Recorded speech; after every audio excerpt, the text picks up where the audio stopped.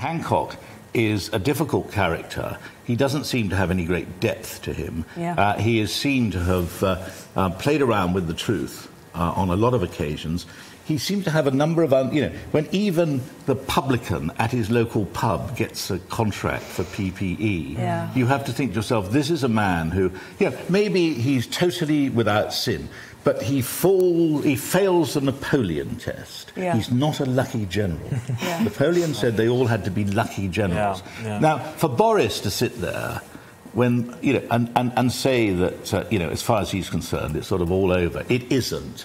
And the danger for Boris is that his own seediness will become more of an issue because of Hancock. And at a certain point, you know, Boris has got away with an awful lot in his life, and the public quite like him, and so they forgive him. But at a certain point, the forgiveness comes to an end. And this by both of the main contenders in all of this. Hancock does himself no favours Yeah. by trying to cling on, and Boris does himself no favours by trying to cling on to Hancock. So come on, boys, cut it out.